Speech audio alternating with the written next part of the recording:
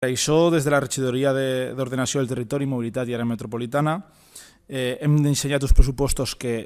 sobretot, són prudents, que són realistes i que estan al servei de la ciutadania,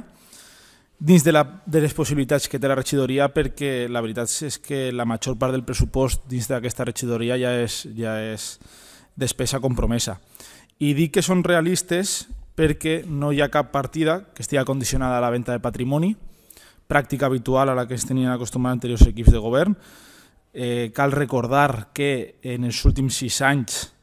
eh, es van pressupostar 55 milions d'euros condicionats a venda de patrimoni, dels quals no es va aconseguir ni un sol euro. El, el punt més destacat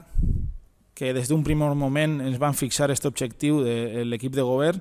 va ser el de millorar lo que és la neteja viària del, de tota la ciutat. L'any 2013, el senyor Bataller va fer una retallada en aquest contracte de un poc més de 1,4 milions d'euros. Què va suposar això? Això va suposar l'eliminació del baldeig en quasi tota la ciutat i la veritat és que ha ocasionat moltíssimes queixes en aquest aspecte des de, des de que estem en el govern.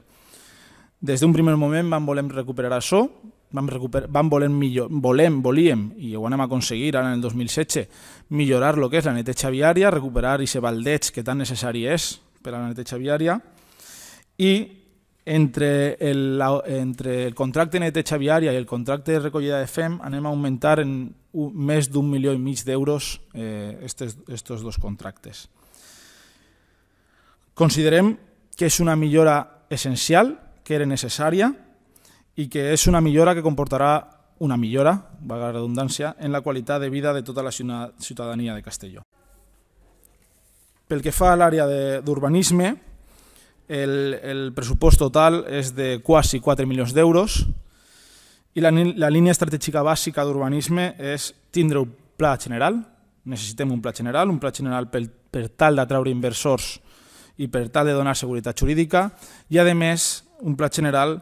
que, que busque solucionar el problema de la marxaleria, un problema que durant massa anys eh, venim arrossegant durant massa anys i més els equips de governs anteriors miraven cap a un altre costat.